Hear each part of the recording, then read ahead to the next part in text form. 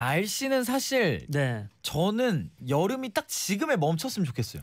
그쵸. 작년 여름 정말 힘들었잖아요. 너무 더워갖고. 야외 촬영하려고 나가면 그냥 땀 바로 부르륵. 와. 네. 작년 여름 진짜 힘들었는데. 집, 네. 집 남향이에요?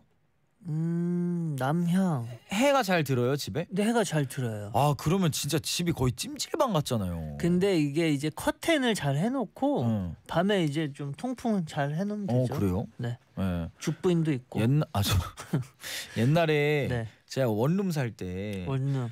뭔가 되게 한강 view를 얻고 싶은 거예요. 그래서 한강 view 원룸을 얻었는데 최악 왜요? 한강 물에 빛이 반사돼 가지고 어. 이게 태양 들어오고 태양 열이 바, 아, 그 강을 통해 가지고 반사돼서 들어와요.